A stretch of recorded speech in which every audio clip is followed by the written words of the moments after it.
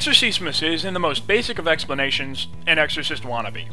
It's about a 15 year old girl who just wants to rebel against her parents, but rather than just taking up loud music and drinking, receives help in the form of Satan. Her uncle, who just so happens to be a priest, is called onto the scene, and the two begin apparently months long task of exorcising the demon from her body.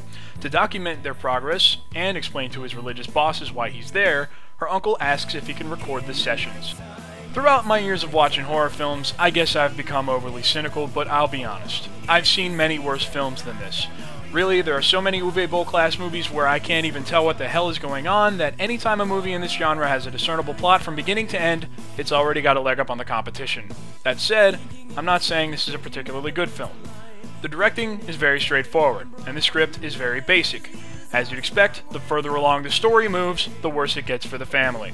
The cast is actually surprisingly believable most of the time, but they aren't given a whole lot to do.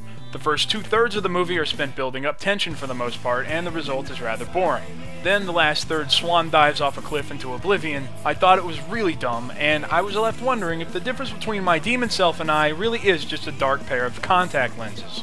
A big problem I think the film has is it takes itself way too seriously. It plays out like a by the numbers exorcism flick, but acts like because it's shot in a very intimate setting, we're supposed to have a very close connection with this family and therefore feel their pain. Forgive me then for thinking this was the best part of the movie.